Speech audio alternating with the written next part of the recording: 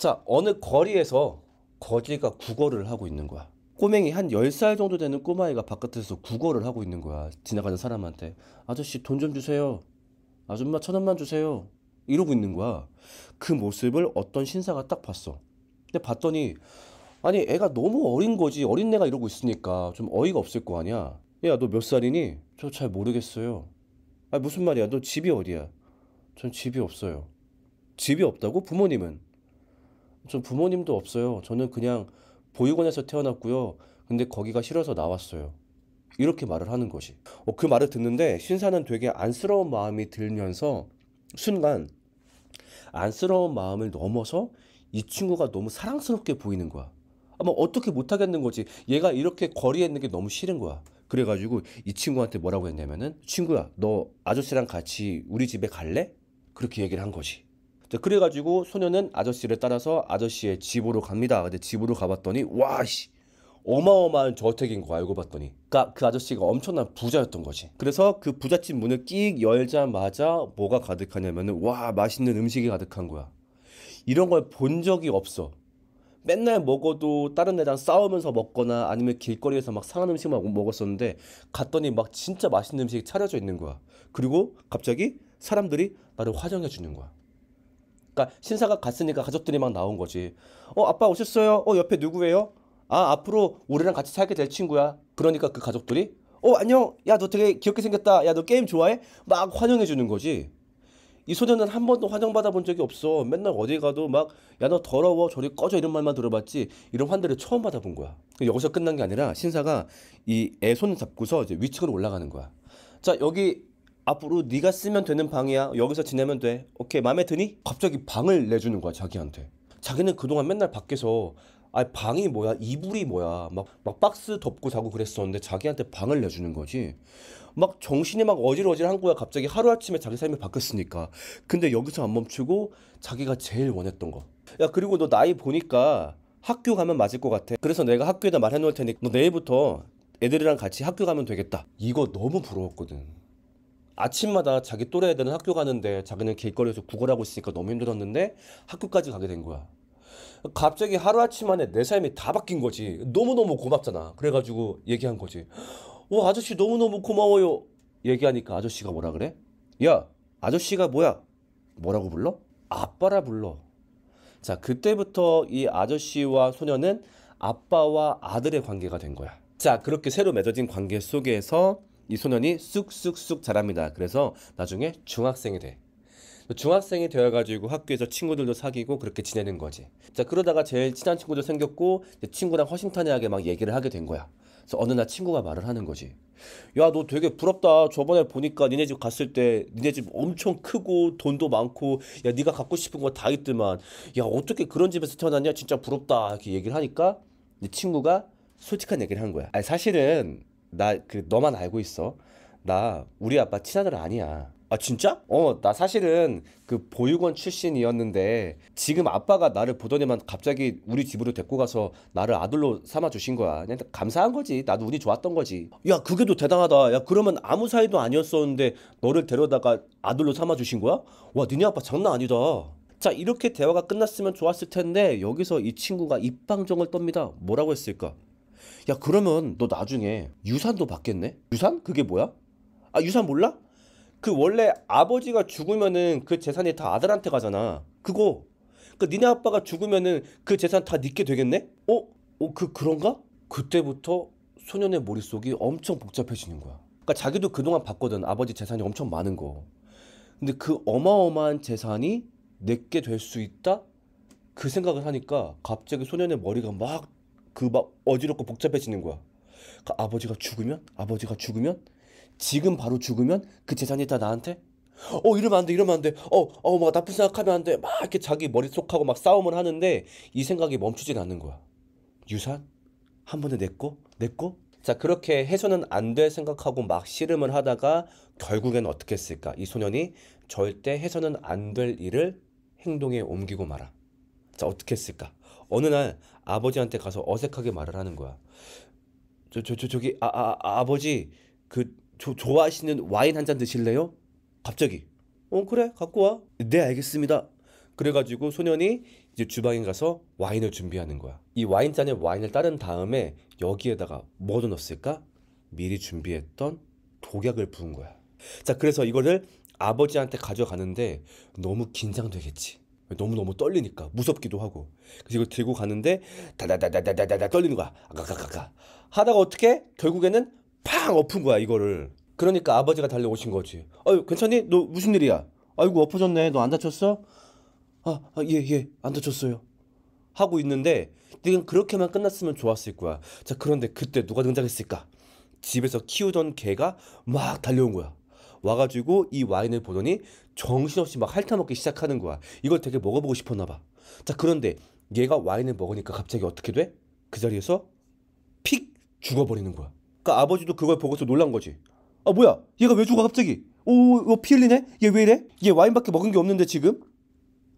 그 순간 아버지의 머릿속에도 퍼즐 조각이 맞춰지기 시작하는 거지. 너 이거 어떻게 된 거니? 너 설마 지금 와인에다가 뭐 넣은 거야? 왜? 너 설마 나를? 그 아버지도 눈치를 챈 거지. 얘가 내 유산을 노리고 나를 죽이려고 했구나. 그러니까 아버지가 정말 이루 말할 수 없는 배신감을 느꼈을 거야. 나는 얘를 사랑해서 아무것도 아닌 애를 불러서 우리 집에 들였는데 얘가 나를 죽이려고 한 거지. 내 모든 걸 노리고. 그러니까 너무 화가 나니까 자기도 막 무슨 행동을 할지 모르는 거야. 그래서 그 모든 화를 그냥 꾹 누르고서 딱 한마디 한 거야. 너 당장 네 방 들어가. 내 눈앞에 뛰지 마. 너 이 집에 살면서 내 눈앞에 절대 뛰지 마. 너 화장실 갈 때는 학교 갈 때는 그냥 내 눈에 안 보이게 숨어 다녀. 너 꺼져 이렇게 한 거야. 그러니까 이 소년도 그제서야 자기가 한 잘못이 떠오른 거야. 막 너무 죄송하고 부끄럽고 수치스럽고 근데 아버지가 너 나오지 마 하니까 어떻게 할 수 없이 그 방으로 들어간 거지. 가가지고 문 닫고 그 안에서 숨어 지내는 거야. 무서운 거지. 아버지한테 쫓겨날까봐. 아니면 이제 아버지한테 조금이라도 잘못 보였다가 정말 죽을까봐 그때부터 덜덜덜 떨면서 살기 시작한 거야. 자, 근데 아빠도 그때부터 딜레마를 겪게 돼. 무슨 딜레마냐? 그러니까 사실 그냥 이렇게 너 저 방에서 나오지 마. 이 정도로 끝낼 수 있는 문제가 아니야. 이건 너무너무 심각한 잘못이거든. 이거 법적으로 치면 뭐야? 살인 미수야. 심지어 존속 살인 미수. 이거 너무너무 큰 잘못이야. 이거 마땅히 벌해야 돼. 근데 이거를 벌하자니 경찰서에다 얘기를 하자니 얘 이거 무조건 잡혀갈 거야. 근데 그렇게 잡혀가게 하자니 뭐가 문제야? 지금도 이 아이를 사랑하는 거야. 얘를 처음 만났을 때 그 기억. 정말로 사랑스러웠던 그 얼굴이 지금도 그 마음속에 남아있는 거야. 그래서 이 잘못을 처벌하지도 못해. 근데 처벌 안 해선 안 돼. 왜? 이거 진짜 큰 잘못이니까. 이거 그냥 우야무야 넘어갔다간 얘가 이 잘못을 반복할 염려도 있어. 이거 반드시 처벌하기는 해야 돼. 어떻게 해야 되지? 어떻게 해야 되지? 그때부터 이 아버지한테 너무너무 괴로운 시간이 시작이 된 거야. 자, 그렇게 아들과 아버지 사이에 엄청나게 불편한 관계가 시작이 된 거야. 아들은 언제 아빠한테 쫓겨날까, 언제 아버지한테 혹은 더 그 이상의 처벌을 받을까 두려워하면서 방 안에 숨어 살게 되고 아버지는 이제 너무나 큰 배신감 동시에 딜레마 때문에 고민하게 되었지. 자, 그러던 와중에 인천공항에 누군가가 짠 도착을 합니다. 바로 누구였을까? 그 사이에 해외 유학을 가 있었던 큰형이었어. 그러니까 아버지의 친아들. 그래서 큰형이 유학 갔다가 돌아온 거야. 그래서 오랜만에 집에 짠 돌아왔지. 그래서 여러분 제가 왔어요. 딱 왔는데 오 집안 분위기가 박살이 난 거야. 여러분 저 왔어요 했는데 평소 같았으면은 어 맞니 막 나오고 막 환영하고 해야 되는데 분위기가 너무 이상한 거야. 그래가지고 일단 아빠한테 가봤어. 그래서 아버지 누구니? 네 저 큰아들입니다. 문 낑 여니까 아버지가 그냥 이러고 앉아 있는 거지. 그래서 예, 아버지 저 왔습니다. 어 그래 가봐라. 아, 얘 무슨 일이지? 자, 그 다음에 이번에는 그 소년 동생이 살고 있는 그 방에 가본 거야. 형 들어간다. 그래서 방을 낑 열었는데 얘는 또 어떻게 하고 있냐면은 방 구석에서 이렇게 쭈그리고 이러고 앉아 있는 거야. 이러고서. 그거를 보니까 형도 뭔가 직감적으로 느껴지는 게 있을 거 아니야. 너 저기 아버지하고 무슨 일 있지? 물어보니까 동생이 이러는 거야. 너 형한테 거짓말 할래? 너 솔직히 말해. 너 아빠랑 뭔 일 있었지? 그러니까, 그러니까 얘가 갑자기 눈물을 막 흘리는 거야. 뚝뚝 흘리면서 이 큰형한테 모든 일을 다 얘기했어. 형님 제가 사실은요 제가 얼마나 쓰레기 같은 짓을 했냐면요 막 얘기를 한 거야. 그래서 자기가 아버지의 유산에 탐나서 아버지를 죽이려고 했었고 그래서 이런, 이런 이런 일이 있었고 그래서 아버지가 자기한테 방에 들어가서 자기 눈에 띄지 말라고 해서 지금은 숨어 지내고 있다 이제 이렇게 얘기를 한 거지. 그래서 큰형이 그 얘기를 다 들었어. 이렇게 묵묵하게 다 들었어. 다 듣고 난 다음에 야 근데 이게 무슨 아빠하고 아들 사이야. 아니 세상에 무슨 아빠가 아들 보고 자기 눈에 띄지 말라고 하고 세상에 무슨 아들이 아빠를 무서워해가지고 집에서 편히 못 따라다녀? 야 이게 무슨 아빠하고 아들 사이냐? 아니 형님 근데 이게 당연하죠. 아 어찌 보면 저는 쫓겨나지 않은 것만도 감사한 거죠. 제가 잘못한 게 맞으니까요. 아니 그래 네가 잘못한 건 맞는데 야 이게 아빠하고 아들 사이냐? 이게 완전 은 쑥대밭이지 이게? 야 그러면은 이렇게 하자. 그러니까 지금 문제가 그거 아니야. 네가 아빠한테 잘못을 했고 그것 때문에 아버지가 너한테 화가 났고 이게 문제인 거잖아. 그럼 이렇게 해보자. 이 잘못을 네가 한 게 아닌 거야. 내가 미국에 있으면서 도박에 빠진 거지. 그래가지고 너한테 연락을 했어. 연락해가지고 야 지금 당장 아빠를 죽여가지고 그 유산을 나한테 보내라. 근데 너는 거절한 거야. 근데 내가 너 협박한 거야. 너 이 자식 나한테 그 돈 안 보내면은 너 고아 출신인 거 주변 애들한테 다 까발릴 거야. 이게 협박하니까 네가 어쩔 수 없이 그거를 하려다가 그렇게 된 거야. 야, 이렇게 하면은 너는 아무 잘못 없어지는 거니까 너랑 아빠는 다시 화목하게 지낼 수 있지 않을까? 아니, 형님 뭐 그렇게 되면 그럴 것 같긴 한데 아니 형님께서 왜 그러려고 하시는 건데? 아까 내 말대로 하면은 아빠랑 화목하게 되는 거 맞아? 아니야? 아니 맞아요. 아 근데 형님이 왜 그런 누명을 쓰려고 하는 건데요? 그러니까 그 형이 뭐라고 얘기하냐면은 나는 그냥 네가 웃을 때가 너무 좋더라고. 네가 우리 집 맨 처음 왔을 때 난 그때가 지금도 기억나. 그 거짓골을 해가지고 우리 집에 딱 왔는데 네가 너무 사랑스러워 보이는 거야. 그 다음에 네가 우리 아빠한테 아빠 아빠 하고 아빠가 널 좋아하는 모습을 보면서 그 모습이 내가 봤을 때 너무너무 행복해 보이는 거야. 그리고 그 모습을 보는 내가 행복한 거야. 그래서 나는 네가 웃는 걸 볼 때 내가 제일 좋아. 내가. 오케이? 아무튼 내 말대로 하자고. 알았지? 그래서 막 동생이 말릴 새도 없이 형이 막 아버지한테 막 가는 거야. 그래서 아버지한테 가서 얘기하는 거야. 아버지 계십니까? 저 큰아들입니다. 어, 그래 들어와라. 그 아버지 할 얘기 있어요. 그 지금 동생하고 사이 안 좋다면서요. 동생이 아버지 죽이려고 해가지고 그 사실 관계가 좀 달라요, 아버지. 그 제가 한 거 아니에요. 그 사실 제가 시킨 거였어요. 제가 사실 미국 갔다가 도박에 빠졌는데요. 제가 얘 시켜가지고 아버지 죽이라고 했어요. 근데 얘가 처음엔 거절했었는데 제가 얘를 협박해가지고 여기까지만 얘기했는데 아버지가 극대노를 한 거지. 뭐? 하면서 이 큰아들의 뺨을 후려치기 시작한 거야. 근데 한 번만 후려친 게 아니라 막 뻑, 뻑, 뻥막 발로 차고 난리가 난 거야. 왜냐면은 그때 아버지가 느낀 분노의 양은 장난이 아니었거든. 왜냐면은 특히 얘는 내 친아들이야. 근데 친아들이 나를 죽이려고 했다라는 사실과 얘 동생이 했던 잘못인 줄 알고 동생한테 이미 그렇게 화를 냈었는데 알고 봤더니 얘가 범인이었다 보니까 어찌 보면 얘 때문에 그 부당하게 동생을 혼냈던 거잖아. 그러니까 거기에 대한 미안함까지 겹치면서 이 형을 막 완전 패기 시작한 거지. 막 짓밟고 막 한 다음에 그 동생이 당했던 거와 똑같은 처분을 내린 거야. 너 지금부터 내 눈에 띄지 마. 너 네 방에 들어가서 내 눈에 네 머리카락 한 올이라도 보이면 난 널 죽여버릴 거야. 네 방에 들어가. 그러니까 막 이렇게 방에서 막 고함 소리 들리고 막 때리는 소리가 막 들리는 거야. 그러니까 앞에서 동생은 그 문에 길을 대고 있었거든. 막 무서운 거지. 그러다가 갑자기 문이 벌컥 열리는 거야.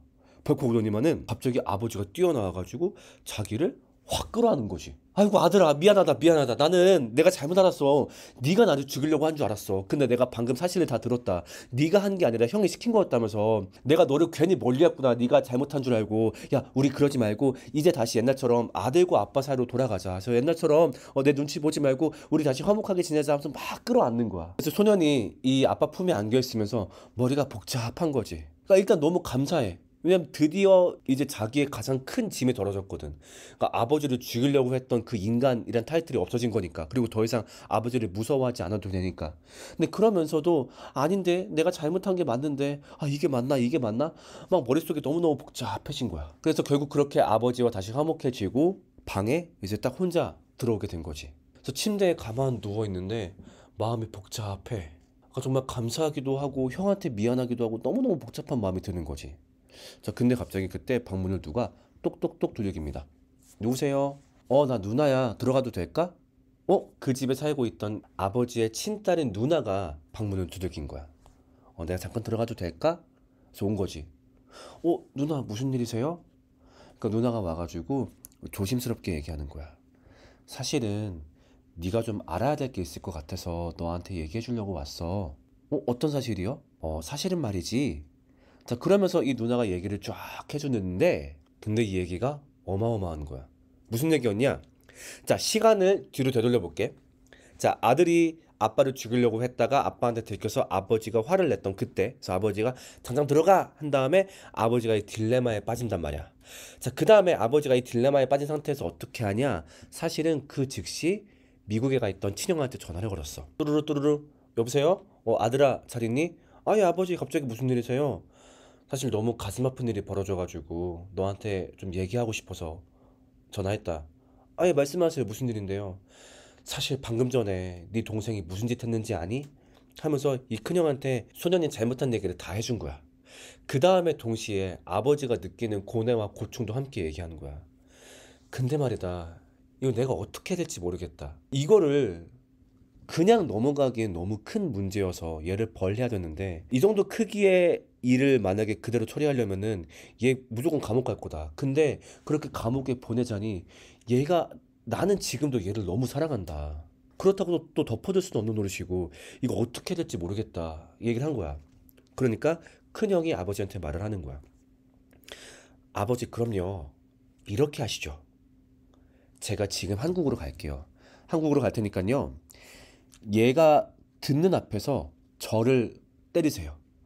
그러니까 제가 실제로 이 죄를 지었다 생각을 하시고 원래 내 동생이 받았어야 될 처벌을 저한테 하세요.